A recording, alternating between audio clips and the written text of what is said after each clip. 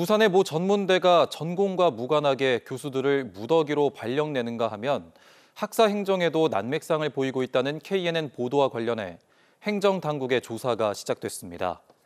부산 고용노동청은 해당 대학이 일부 비전임 교원들에 대해 근로계약서를 체결해 주지 않고 있다는 진정과 관련해 이달 안에 근로감독을 실시합니다.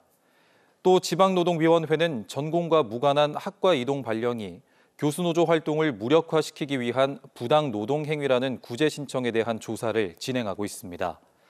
교육부도 정부 정책에 따른 조치라는 해당 대학의 주장과 관련해 사실관계 파악에 착수했습니다.